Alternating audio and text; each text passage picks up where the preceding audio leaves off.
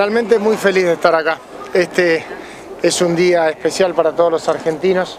Como siempre, eh, nos reunimos aquí en Tucumán, como pasó hace 199 años de nuevo ahora.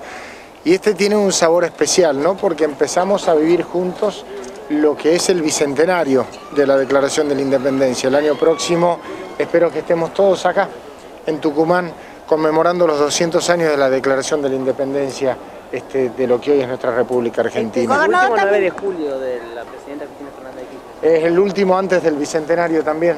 Este, en realidad creo que para nosotros es un desafío enorme, ¿no? Trabajar para que todos, pero los sueños, los anhelos de generaciones de argentinos que durante el transcurso de estos últimos 200 años eh, creyeron, soñaron con una Argentina que incluya, que integre a todos, nosotros los que tenemos responsabilidad institucional tenemos la obligación moral de hacerlo realidad. ¿Cómo siente que debe llegar la región a este bicentenario? ¿Cuáles son las deudas pendientes? Nosotros tenemos este, eh, una situación particular. Por esas cosas de la vida eh, fuimos uno de los principales artífices de lo que fue la declaración de la independencia. Y por esas mismas cosas de la vida, nuestra región, hoy tiene el Producto Bruto Interno Per cápita que es la mitad del promedio nacional.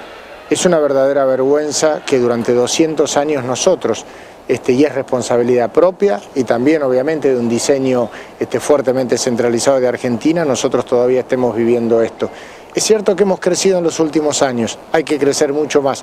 Yo tengo una enorme expectativa en que el tiempo por venir en la Argentina así como ya hemos recuperado un país para todos los argentinos, desde el norte podamos hacerlo también. ¿Qué hay que hacer para federalizar la Argentina entonces? Esencialmente lo que nosotros necesitamos es discutir federalismo este, de, alto, de alta energía, mucho más que, que discusión de coparticipación, esas cosas que son discusiones de poder, porque eso es lo que discute es quién maneja la plata, si el gobierno nacional, provincial, municipal, es una anécdota.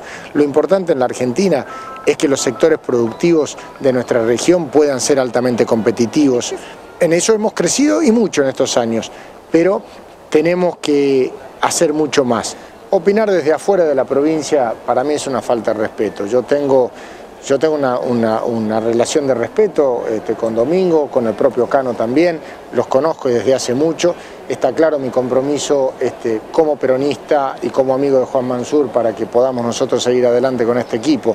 Este, es el pueblo el que debe validar o no las conductas. Este año eh, había pensado en competir.